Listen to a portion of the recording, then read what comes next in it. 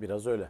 Yani gidenleri Friedel bak- şey yapacak, yolcu edecek. Gelenleri de Samet abi karşılayacak. O zaman Öyle belki görünüyor. Gökhan şöyle bir şey olabilir. Yani şu an bu sene Beşiktaş'tan çok gidecek oyuncu olduğu için o görevi belki Fridel'e vermişlerdir. Çünkü kadronun bayağı boşalması lazım. Onları senin dediğin gibi boşalttıktan sonra Fridel'le birlikte onun pazarlamasını iyi yapar boşaltırsa Beşiktaş'ın elini rahatlatır. E şöyle diyeyim 18 Temmuz'da e, hemen Avrupa Şampiyonası'ndan sonra bir federasyon seçimi var. O federasyon seçiminden sonra da bence bu kural aynı şekilde hani alınan kural aynı şekilde uygulanacak mı? Yani yabancı kuralı işte 11 yabancı ile çıkıyorsun, 12 ile imza alıyorsun. İşte geride açıkta kalan oyuncular ne olacak? Bu kural geçerli olacak mı veya yeni gelen yönetim veya aynı şekilde devam ederse yönetim buna bir esneklik getirecek mi? Bu kural önümüzdeki sene için yüz yüz geçerli kural geçerli diyebiliyor muyuz? Bence değil. Yani o seçimden sonra gelen yönetim orada bir esneklik sağlayabilir. Kulüpler o konuda baskı yapabilir mi? Değil Yapabilir. hocam Çünkü planlamayı da hani 20'sine kadar bekletemezsin ki. Şimdi ama o- ama be, ama daha önce daha önce Doğru. daha önce yerli oyuncularla ilgili bir takım gündeme Doğru, gelmişti. doğru. Hatırlıyorsan yerli oyuncu sayısı fazla olacaktı. Bir anda kulüpler bastırdı. Yönetim e, Futbol Federasyonu geri adım attı. Uygulamayı kaldırdı, esnekliği kaldırdı. Yani bazı kulüpler bu işten Beşiktaş başta olmak üzere bazı kulüpler zarar gördü. Çünkü o alınan kurala göre transferleri yaptı. Bir anda yerli oyuncu sayısını azalttılar. Gene eskisi gibi devam ettirdiler ve bir anda Beşiktaş ona göre hazırlık yaparken kaybetti. Burada e, problemli çıkan kulüp Beşiktaş oldu. Şimdi burada da yeni yönetim geldiği zaman bu kural aynen geçerli olacak mı veya bir esneklik sağlayacaklar mı kulübe ben onu da merak ediyorum. E, Bundan sonra e, Beşiktaş ilk transferini de yaptı. Şimdi Van Branskot'ta hoca işini halletmeleri lazımdı ki hallettiler. Bundan sonraki gelişmeni merak ediyorum. Çünkü gelen hocayla hep bir şeyler ümit ediyorsunuz. Acaba ne verebilir, ne verebilir? Şimdi Van Branskot yerine Sergen Hoca gelseydi ne fark ederdi? Bence Sergen Hoca'yı daha çok kabul ederdim. Çünkü Türkiye Ligi'ni tanıyor. Şu anda Van Branskot geldi. Kendinin de ispat etmesi gereken bir şey var. Şey, Jesus geldi Fenerbahçe'ye İsmail Kartal'dan sonra. Bir anda her şey çok iyi gitti. Şampiyon olamadı. Bir kupa aldı. Başarılı mı başarısız mı diye tartışırken Suudi Arabistan'a gitti. Şampiyon oldu. Rekorlar kırarak bile şampiyon oldu. E şimdi Van Branskot geldi burada. Gelmeden konuşmak da yani başlamadan bu işe konuşmak da doğru değil. Referansına bakıyorsun tamam. Feyenoord uzun süreden sonra şampiyonluk yapmış ama ben baktığım zaman iki sene bir takım çalıştırmamış görüyorum. 19 ay. Yani burada da konuşmak için henüz erken işe nasıl başlayacağını, transferlerin nasıl gelişeceğini onu merak ediyorum. Bir de hakikaten Friedel'i merak ediyorum. Yani Friedel abi ne yaptı da buraya geldi? Yani kim bunu düşündü? Hakikaten bazen inanamıyorum böyle şeylere. Şimdi Yani madem- senin orada bir tane sportif direktör var. Futboldan her şeyden sorumlu. Daha sonra önce Galatasaray'da kalecilik yapmış bir arkadaş. Yani Friedel'i de bilmiyorum yani. Galatasaray'da kalecilik yapmış bir arkadaş. Bununla ilgili bir deneyimi de yok. Sadece ilişkileri iyi. Bize ya oyuncu satışında faydalı olacak diye yönetim kurulu danışman olarak bir ünvan da veriyorsun ve göreve başlatıyorsun. Hayırlı olsun. Biz sadece konuşuyoruz. Peki transfer dediniz hocam. Hemen Şenol Hoca'ya da Gabriel Paulista ile birlikte dönmüş olayım. Paulista İstanbul'a geldi hocam. Ee, 33 yaşında bir oyuncu. Ee, 2 artı 1 yıllık sözleşme konuşuluyor. Paulista ile imzalanacağı. Tabii e, Villarreal gibi, Arsenal gibi, işte Atletico Madrid gibi, Valencia gibi çok önemli bir CV var. Ama e, şunu kabul etmek lazım ki e, her zaman için sakatlık riski de yüksek olan bir isim. Gabriel Paulista performansı ile birlikte. Yani e, La Liga'da kabul görmüş, Premier Lig'de uzun bir süre oynamış bir stoper ama e, son 3 yılda sezon başın e, bazında 25 maçı da görmemiş bir stoper. Ama e, burada tabii işler farklı olabilir. Şöyle pası size atayım. Paulista transferi önemli ama yanında kim olacak ya da nasıl bir transfer planlanacak bence o da çok önemli. Yanındakini mi soruyorsun şimdi? Kendisini mi soruyorsun? yok, yani kendisiyle birlikte Yani- hocam yanında kim olmalı o Şimdi yorumda aslında yapabilirsiniz. yanında orada ben Omar Koley var. Ben onu beğeniyorum. İyi bir stoper. Ben şimdi Omar Koley'nin yanında acaba Paulista olur mu olmaz mı?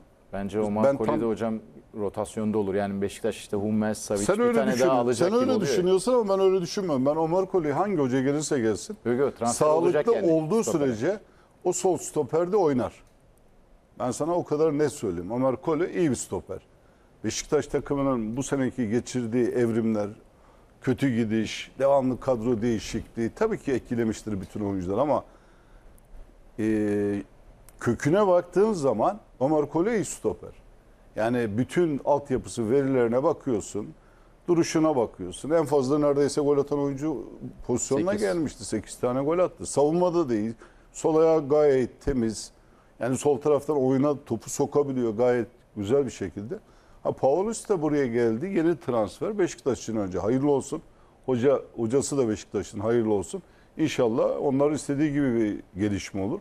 Tabii bunları bir tek hocayla veya bir tek oyuncuyla birlikte değerlendirmek yanlış olur. Beklemek lazım. Paulus'u da beklemek lazım. Ben Ömer Kolli'nin hala iyi bir stoper olduğunu, onun yanına orada ben beğendim bir tane stoper mesela. Tayyip Talha var. Yani çocuk geldi sakatlandı ama o sakatlığı geçtikten sonra ben eminim ki o formayı o da orada zorlayacaktır.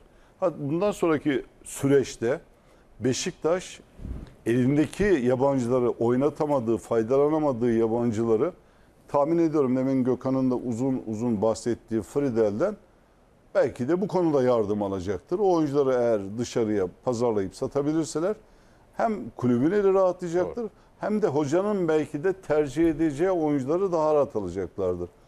Öyle baktığın zaman o açıdan değerlendirdiğin zaman Beşiktaş için epey bir süreç var. Yani bu lig başlayana kadar yaklaşık iki aylık bir süreç bence çok hareketli geçecek. Hem gidecek oyuncular hem yeni transferler. Burada belki de her gün programda biz bunları konuşmaya devam edeceğiz. Beşiktaş'a o geldi, o gitti falan diye. Çünkü büyük bir revizyona ihtiyacı var Beşiktaş takımının. Yani hem oyuncuların mental olarak bir yorgunluğu var hem kulübün de kulüp olarak bir yorgunluğu var. Kolay değil yani bir sene içerisinde çok şey yaşadı Beşiktaş kulübü. Yönetim bir yönetim gitti, yeni yönetim geldi. Bazı oyuncular gitti, geri geldi. Yeni transferler devre arasında geldi. E şimdi sezon başlıyor. Geçen sene faydalanamadığın birçok oyuncuyu Beşiktaş elinden çıkarmaya çalışacak. Onun yerine daha popüler, daha Beşiktaş'ı ayağa kaldırabilecek oyuncu arayışı içerisinde olacaklar. Bunlar için bir süreç gerekli. Yani inşallah Beşiktaş doğru bir süreç içerisinde olur. Doğru transferler yapar. Hoca tercihi de hayırlı olsun. Beşiktaş'ı biz her zaman bu ligde üst sıralarda Trabzonspor'u olduğu gibi onu da buralarda yani görmek istiyoruz. Çünkü bizim Türkiye'nin gerçekten güzel renkleri bunlar. E şimdi Galatasaray ile Fenerbahçe'nin bu transferlerine baktığın zaman geçen seneden kalan oyuncularını da düşünürsen bunlarla mücadele etmek için bayağı bir çaba sarf etmek lazım. Bu hem Beşiktaş için hem Trabzonspor için geçerli. Bunları yakalamak için büyük bir mücadele, büyük bir çaba sarf etmek lazım. Doğru transferler yapmak lazım. Belki pahalı değil ama gerçekçi, realist transferler yaparlarsa eğer bu zirve yarışına ortak olurlar diye düşünüyorum. Yani Ki hata dileğim pay- de o. payı hem Beşiktaş'ın hem Trabzonspor'un hocam Sıfır. çok düşük yani. Sıfır. Düşük değil sıfır. Yani yapacakları transferler elindeki oyunculardan muhakkak ve muhakkak çok daha iyi olmalı. Yoksa o gidiyor bu geliyor hiçbir şey değişmiyor.